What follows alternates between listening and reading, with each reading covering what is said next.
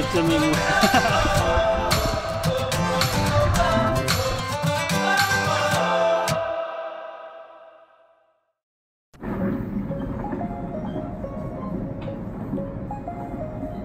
要上船了，来找个岛。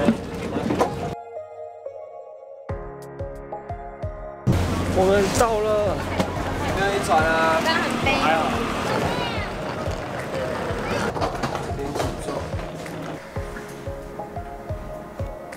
哇，这房间也太有情调了！他一进来就可以看到旁旁边墙壁上这边，这个是要让我拍照吗？是不是王美强？拍得进去吗？长翅膀，而且它的整个设计是非常走工业风。你看，连电视下面都有这个水龙头的设计。那我们再往里面看，它的厕所竟然是半开式的，这是露天的概念。然后重点是我刚刚竟然没有看到这个东西，在翅膀旁边就有一个铁桶做的小酒吧，哎，超帅！那你直接晚上回来就可以跟你的另外一半在这边小酌一杯，而且这个色温，你看这个灯光非常有情调。现在的时间才下午的两点。我要去好好体验绿岛的行程了，玩水吧！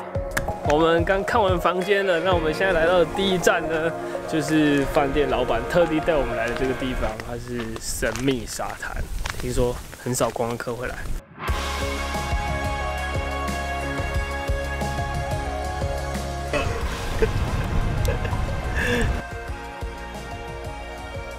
这就是绿岛的海草，然后现在就是绿岛的一些妈妈会拔回去，然后用那个那个叫什么筛哦，就是把多对把沙子都洗掉，然后绿岛就是特产海草煎蛋啊，海草蛋饼啊，就这种。但是这太费工了。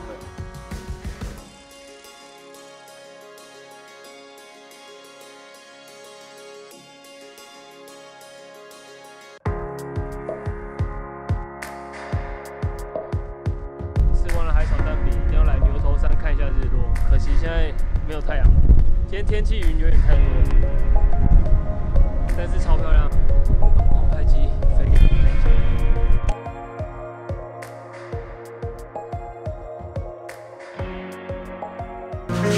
哦，吃饱了，然后下来他们餐厅里面现在就是晚上变身成酒吧，超漂亮。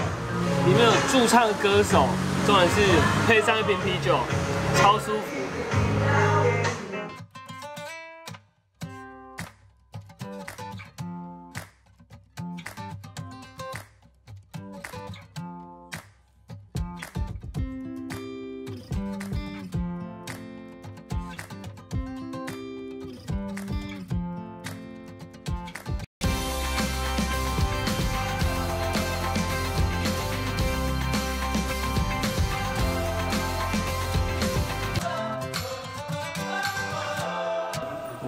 现在要潜水啊，然后我们在这个库达潜水，那就跟导演一起下去，呃，气瓶潜水体验一下。